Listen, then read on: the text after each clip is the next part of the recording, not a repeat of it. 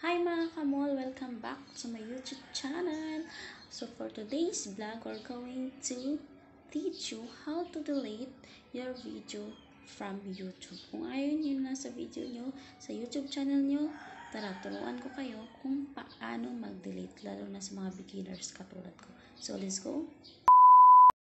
So ayun guys, nandito na tayo sa ating home screen. Hanapin lang natin yung Chrome apps natin.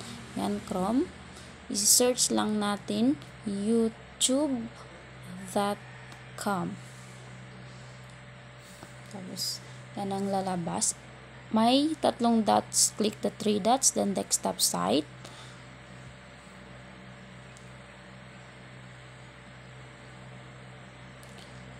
ang hina ng signal. Pasensya na po. Tapos, click yung profile nyo sa channel video nyo.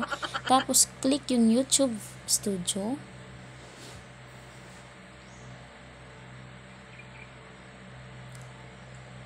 Loading.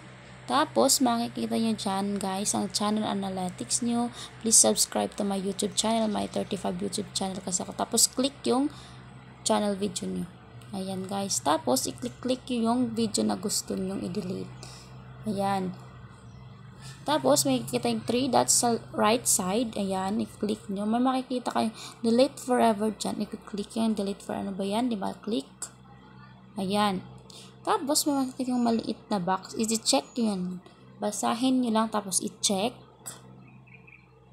Ayan. Tapos, delete forever. Ika-cancel ko yung akin kasi wala pa ako masyadong video. I hope you enjoy guys. Sana makatulong ako.